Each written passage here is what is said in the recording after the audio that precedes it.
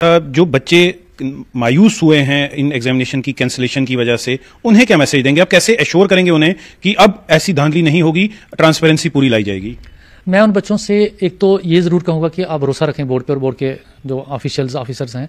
हम सारे इसी चीज़ में लगे हैं कि बिल्कुल ठीक तरह से रिक्रूटमेंट हो।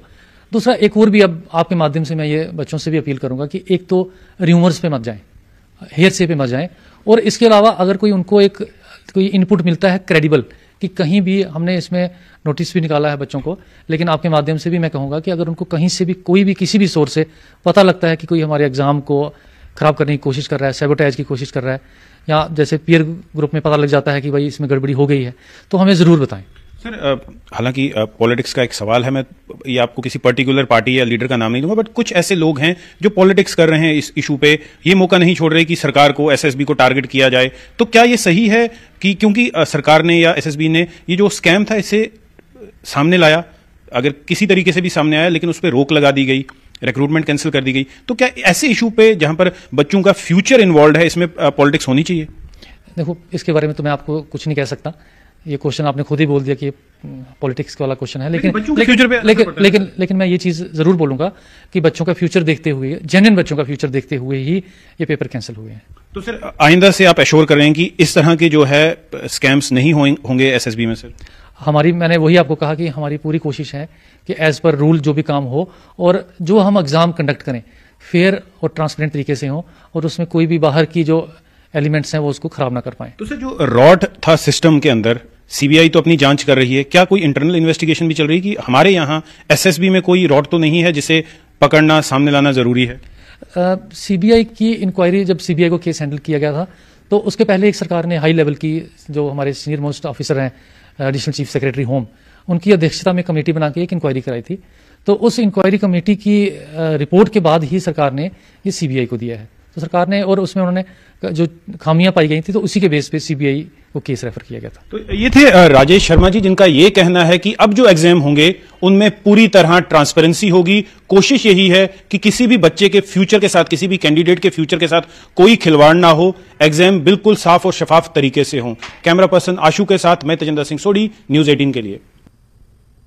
तमाम सड़क पर पार्लियामेंट के दो ये तीनों एग्ज़ाम एक junior engineer civil sub inspector home department और अकाउंट असिस्टेंट फाइनेंस डिपार्टमेंट के, ये तीन एग्ज़ाम थे, ये मार्च के महीने में कराए गए थे तो इनमें कुछ अनॉमलीज पाई गई तो उसके कारण, क्योंकि रिक्रूटमेंट प्रोसेस ऐसा होता है कि एक भी बच्चा अगर इसमें गलत तरीके से आ जाए तो वो अनफेयर होता है जो प्रॉपर बच्चे हैं, जो मेहनत करने वाले हैं।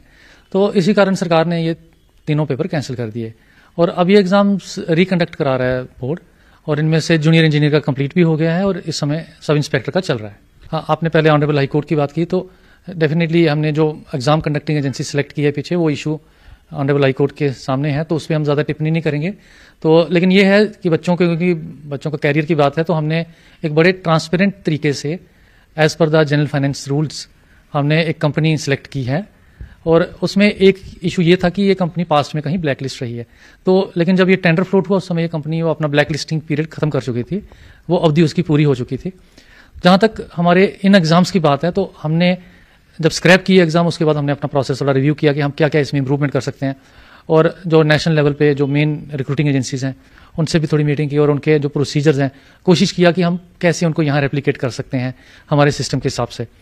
तो एक तो हमने शिफ्ट किया है कि हम कंप्यूटर बेस्ड टेस्ट करेंगे, क्योंकि वो कंपेरेटिवली उसमें ये जो ट्रांसपोर्टेशन ऑफ़ पेपर या प्रिंटिंग का प्रोसीजर उसमें खत्म हो जाता है। तो उस तरीके से हम मानते हैं कि वो थोड़ा सिक्योर है। हालाँकि दोनों सिस्टम्स में अपनी अपनी प्रॉब्लम्स हैं।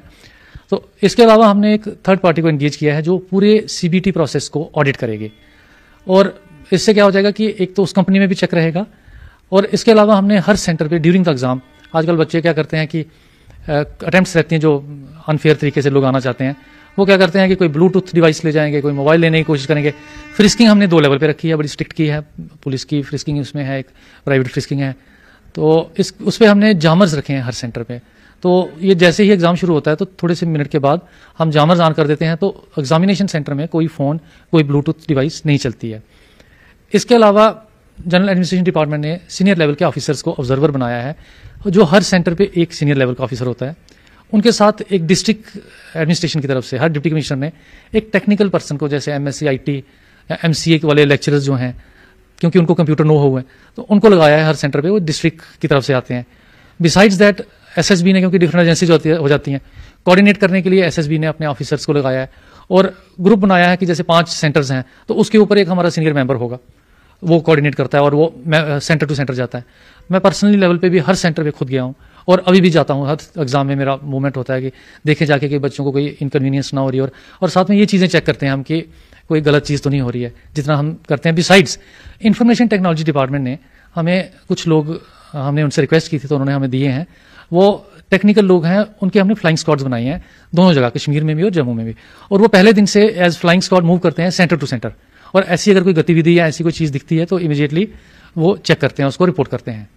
तो सर जैसे स्टूडेंट्स हैं जिन्होंने इसके लिए कैंडिडेट्स जो हैं, कई उसमें से ऐसे कैंडिडेट्स हैं जो ओवर एज भी हो चुके हैं।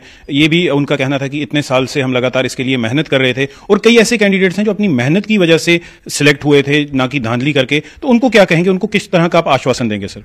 उनको हमने इसमें ऐसा किया है, जब ये री एग्ज़ाम कर रहे हैं तो एप्लीकेशन हमने नई नहीं इन्वाइट की। जिन बच्चों ने ऑलरेडी अप्लाई किया था, वही बच्चे इसमें अपियर कर पा रहे हैं। तो उनकी वो जो ओवर एज का या कंपटीशन बढ़ जाएगा, वो चीज़ हमने उसमें टेक केयर की है।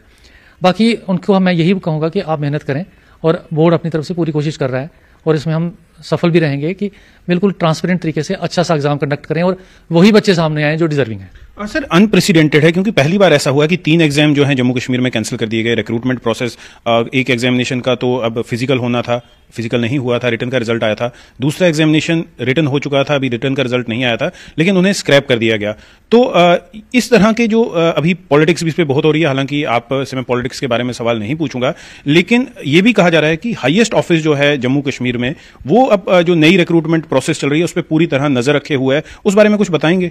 ये तो बहुत अनफॉर्चुनेट होता है जब कोई एग्ज़ाम बच्चे ने मेहनत करके दिया और कैंसिल हो जाए।